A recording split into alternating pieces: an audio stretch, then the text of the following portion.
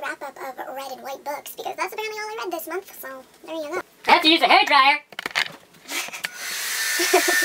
Why are you in my room doing it? because it doesn't move, you know. If it's in the bathroom, you can't move it. Jay didn't understand that the hair dryer I never said it didn't move. move. from one room to another. I never said that. She's in our bathroom and she's, she goes, I'm in here to use the hair dryer. It, the hair dryer.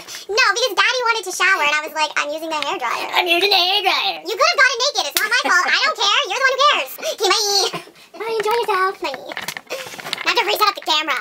Ugh, you make my life so difficult.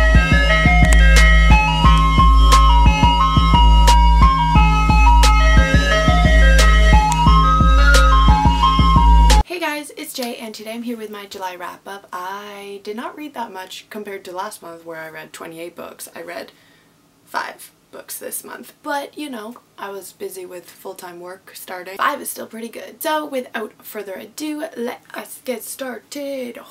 The first book I completed this month was The Shadow Queen by CJ Redwine, and I ended up giving this a 3.5 out of 5 stars. It follows Lorelai who is seeking revenge on her stepmother, Queen Irene, who ended up killing her father to take over the throne of Ravenspire. With the help of her little brother Leo, Lorelai must use her magic in order to take over the throne once again. Prince Cole's parents are killed in a neighboring village by ogres. He is named the new king of Eldr. In order to rid his land of these ogres, he has to turn to magic, which only Queen Irene can provide. They end up making a deal, Queen Irene's magic, in exchange for Princess Lorelai's heart. But upon meeting, Lorelai and Cole fall in love and they need to work together in order to overthrow Queen Irene. I was originally super intrigued by this book because your girl is super into fairy tale retellings and this is like the Snow White and the Evil Queen retelling. And I was like, bruh, this is gonna be so good, but it fell a little short for me. I did still really enjoy it, and I was super excited that there are dragons in this book because I had no idea, and I recently read The Last Namsara, which is big on dragons as well, so I was very excited about it. But I thought that the insta-love between Cole and Lorelai was ridiculous. It just pissed me off. The plot was interesting, but it became very repetitive very quickly, and it was kind of slow getting into the action so that was kind of a downfall for me. I really liked Cole as a character. Lorelai pissed me off. She was just really annoying to me.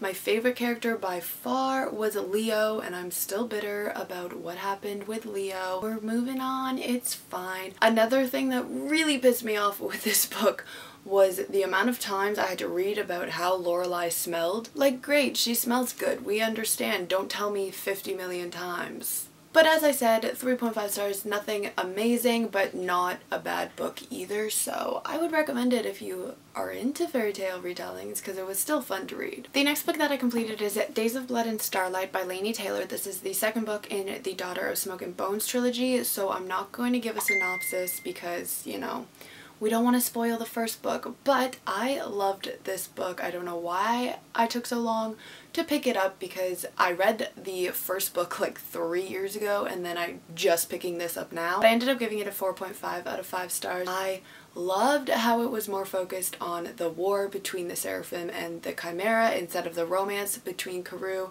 and Akiva even though I really want them to get along again. Zuzana, still my favorite character, love her so much. She's so sassy and witty and her relationship with Mik is literally the purest thing ever and I cannot wait to read more in the third book which I'm reading right now and I'm only like 250 pages in but we're getting there. It's a big book. It's like 600 pages besides the point.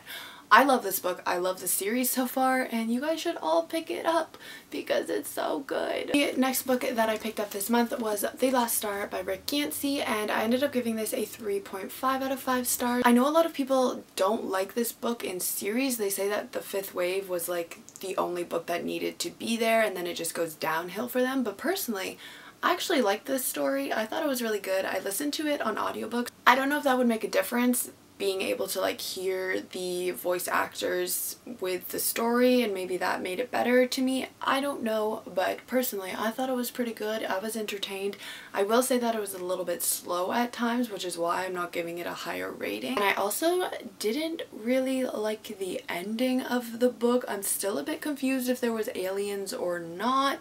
I also still really did not like Cassie and Evan together. They really annoyed me. And I didn't like who Ringer ended up with, even though I love her so much. Her character is amazing. I think she's great. I know a lot of people don't like her, but I think that she should have ended up as being independent like the bad bitch she is, but that's just my take on things. But as I said, I thought it was good.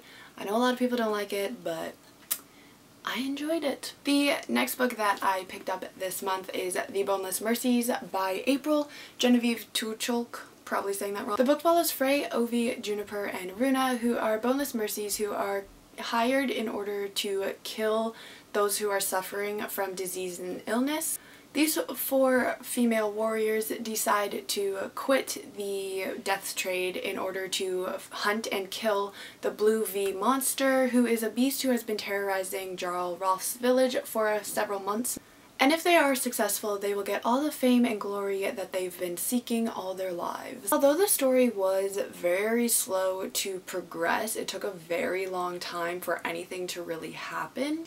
The battle scenes definitely made up for the lack of action at the beginning. The first half of the story really dragged on for me. It was very boring in my opinion, but then once the battle scenes happened, I was really into it. I really liked how the story revolved around these four women and they were just total badass warriors, which I loved so much. It was great to see them kick some ass. And also, they supported each other so much with everything which was super nice to see. I also really liked how it showed a platonic relationship between females and males and also females and females and how it didn't have to be romance. It was really nice to see that, you know, people can be friends without underlying emotions. I also really liked reading about the different people in this story and their backgrounds and how everybody lived differently and what magic systems they used. Like there was the Boneless Mercies, but then there was also Sea Witches and the Quicks, which were like kind of like Robin Hood people in the story. It was really cool. The book is being released in October, so if you guys are interested in it, then definitely check it out in October because it is a pretty cool story. It's a gender-flipped retelling of Beowulf, so it was kind of cool to read. If you guys have read Beowulf, I suggest it because it was kind of cool to see the parallels and all that. And then the final book I uh, picked up, I really really did not like. Um, it's A Sister's Secret by Cydney Rax and I was actually super excited about this book because it sounds really cool but it was not really cool. I ended up giving it a 1.5 out of 5 stars. It follows this group of five sisters who come together every month after the death of their mother and have to complete these challenges that one of the sisters sets forth for them. One of the challenges ends up being that they have to be truthful with each other and a sister reveals something that kind of shakes the water a little bit and I thought that maybe, you know, it could have been something really cool, but it was really predictable. I was able to call exactly what was the secret within like 10 pages of the book, which was really annoying. Also, all the characters are African American and they all spoke like really ghetto and it just really bothered me the way the author portrayed these characters. Like she made them just your typical black character and it was just way too much for me. I did not like it and the dialogue between all the sisters and the people that they were talking to was just really cringe and I just it was not for me. So I definitely think that it had potential but it was not executed well so I really don't like it. I really don't recommend it but I mean if it sounds like something you'd be into then go for it but like don't say that I recommended it because I do not. Alright guys, so that was my July wrap up for this year. Let me know down below if you guys have read any of these, what you thought of them, and I will see you all in my next video. Goodbye!